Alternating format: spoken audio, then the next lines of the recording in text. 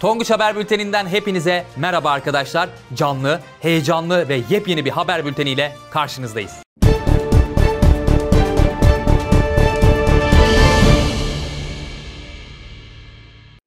Kütüphanesiz okul kalmayacak diyor Milli Eğitim Bakanımız Mahmut Özer. Geçtiğimiz Ekim ayı itibariyle toplam 3200 tane yeni kütüphane açıldı. Tabi hazır kütüphane demişken isterseniz kütüphane kurallarını da bir hatırlayalım. Öncelikle kütüphaneye yiyecek, içecek sokulmaz çünkü haşır huşur ses çıkarır, insanları rahatsız eder. Sonrasında kütüphanede cep telefonuyla konuşulmaz. Ayrıca cep telefonundan TikTok'a girilmez. Hele ki TikTok dansı asla yapılmaz. Peki öğrenci arkadaşlarımız kütüphanelerle ilgili ve kitap okumayla ilgili ne düşünüyorlar? İstiyorsanız 9. sınıf arkadaşımız Arzu'dan bu konuda fikir alalım. Özellikle bizim çağımızdaki çocukların her bir haftada bir kitap bitirmesi lazım bence. Arzu çok haklı çünkü kitap okuyarak hem kendimizi geliştirebiliriz hem de yeni nesil soruları Hüseyin Bolt hızıyla 9.6 saniyede çözebiliriz. Tebrik ediyorum. Aferin kız Arzu. Geçtiğimiz bültende bu haber gerçek mi yoksa biz mi uydurduk diye bir soru sormuştuk hatırlarsanız. Siz de bir sürü cevap yazdınız o videonun altına. Şimdi cevabı açıklayacağım fakat öncesinde o videoyu bir hatırlayalım. Ya ben telefonda arkadaşımla WhatsApp'tan mesaj istiyordum klasik. Ya bir anda mesajlaşmaya kaptırmışım kendimi. Telefon düşüverdi bir anda. Düşünce de bir panik yaptım. Sifona bastım. Kolumu sıvadım. e, Soktum klozetin içine. Evet büyük an geldi. Bu haber gerçek miydi yoksa uydurma mıydı? Açıklıyorum. Geçtiğimiz bültendeki klozet haberi gerçekti arkadaşlar. Yorumlara gerçek olduğunu yazan tüm arkadaşlarımı Tebrik ediyorum. Bu arada olay İngiltere'de gerçekleşiyor. 16 yaşındaki genç tuvalette elinde telefonla oynarken klozete düşürüyor. Sonrasında almaya çalışıyor ve alamıyor. İtfaiye gelip öğrencinin kolunu çıkaramayınca daha sonrasında klozetle birlikte oradan çıkarı veriyorlar. Buradan çıkaracağımız ders ne peki? Birincisi tuvalette telefonla çok fazla haşır neşir olmamalıyız. İkincisi de konudan bağımsız olarak sifonu çekmeliyiz. Sırada matematiği sevdiren harika bir proje var arkadaşlar. Cebimdeki matematik. Projemiz Osmaniye'de Karacaoğlan Ortaokulu'nda görev yapan Mukaddes Karip hocamız tarafından uygulanmış.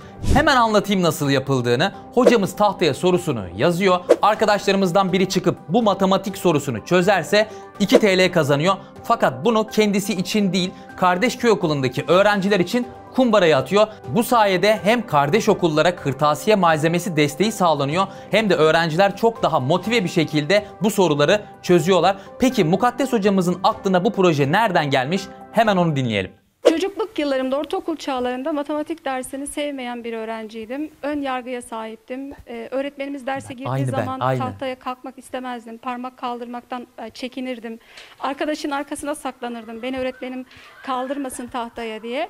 Bu ön yargılarla matematik o ortaokul yıllarına geçtik. Ve o çocukluk hayalimde dedim ki ben öğrencilerime bunu yaşatmak istemiyorum.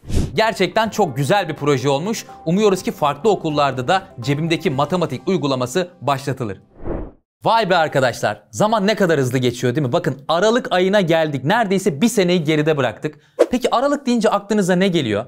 Kar yağışı, kestane, boza, yılbaşı, İkinci yazılar İkinci deme işte onu deme. İkinci yazılıları deme. Bak ne güzel unutmuştuk ama ikinci yazılıları ister istemez hatırlatıyor insanlar bize. Olsun arkadaşlar merak etmeyin. Özellikle ilk yazılılarda baltayı taşa vuran arkadaşlarımız ya da iyi notlar alıp bunun devamını getirmek isteyen arkadaşlarımız için yazılı kamplarımız hazırlanıyor ve çok yakında yani yazılardan önce sizinle beraber olacak. Bu konuda için rahat olsun Türkiye'm. Bu arada yılbaşı için bizden bir beklentiniz var mı? Şarkı olur, türkü olur ya da herhangi bir video olur. Onu da yorumlara yazmayı unutmuyorsunuz. Elazığ'da okullar arası voleybol turnuvası düzenlendi. Öğrenciler birbirlerinin kafasına smaç vura vura turnuvayı tamamlamış arkadaşlar. Peki şampiyon kim oldu? Hemen onu da açıklayalım. Erkeklerde Yıldız Bağları Ortaokulu, kızlarda ise Kovancılar Fatih Sultan Mehmet Okulu şampiyon olmuş. Hepsini tebrik ediyoruz. Tabii ki sadece öğrenciler değil, 24 Kasım'da Öğretmenler Günü özel yapılan turnuvalarda öğretmenler de mücadele etmişler. Hem de tenisten tutun futbola kadar, futboldan tutun voleybola kadar sonra yine tutun tekrar tenise dönün. Bütün spor müsabakalarında karşılıklı olarak yarışmışlar. Müsabakaların sonunda ise öğrenciler sahaya girip hadi artık geç oldu akşam ezanı okundu yarın okulumuz var diyerek öğretmenleri evine uğurlamış arkadaşlar. Karabük'te çok güzel bir kitap okuma etkinliğine imza atılmış. Sadece öğrenciler değil, anneler, babalar hatta dedeler ve nineler bile bu kitap okuma etkinliğine katılmışlar. Tabii ki bu tarz etkinlikler öğrenciler için kitap okuma açısından çok daha motive edici oluyor. Bu güzel etkinlik sonrasında benim de anne ve babalara bir sözüm olacak. Biz de sizler için bir akşam oturup saat 8'den 12'ye kadar bir diziyi izleyeceğiz. Hatta sonrasındaki fragmanı da izleyeceğiz. Söz veriyoruz. Kocaeli'nin Körfez ilçesinde rahatsızlığı nedeniyle tedavi gören Raziye Tekçe Gedik hocamıza 24 Kasım Öğretmenler Günü özelinde öğrenci arkadaşlarımızdan harika bir sürpriz yapılıyor. Öğrenciler hocamızın kapısına gidiyorlar ve bakın ne kadar güzel şarkılar söylüyorlar.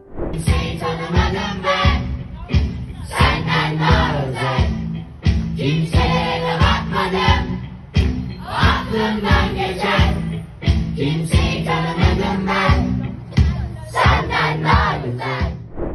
Bizler de Tonguç Akademi olarak Raziye hocamıza geçmiş olsun dileklerimizi yolluyoruz. Arkasında böyle güçlü, böyle iyi kalpli öğrencileri varken her türlü zorluğun üstesinden gelir. Bundan hiç şüphemiz yok. Tonguç Haber bitti arkadaşlar. O zaman bir sonraki bültene kadar kendinize çok iyi bakıyorsunuz. Like atmayı unutmuyorsunuz. Hoşçakalın.